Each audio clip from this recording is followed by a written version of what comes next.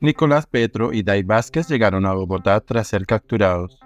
Los capturados fueron trasladados desde la ciudad de Barranquilla al búnker de la Fiscalía en la capital del país.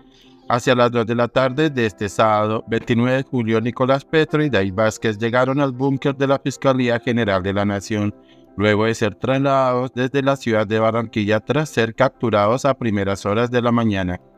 El ente investigador decidió emitir las órdenes de captura de Petro y Vázquez en la noche del pasado viernes y en la mañana del día de hoy varios funcionarios del CTI las hicieron efectivas.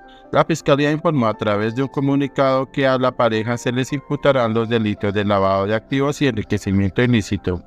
Asimismo informó que los dos capturados serían puestos a órdenes de un juez de control de garantías para garantizarles sus derechos. Los capturados serán puestos a disposición de un juez penal municipal con función de control de garantías a quien se le solicitará impartir legalidad a los procedimientos de allanamiento, captura e incautación de elementos materiales probatorios.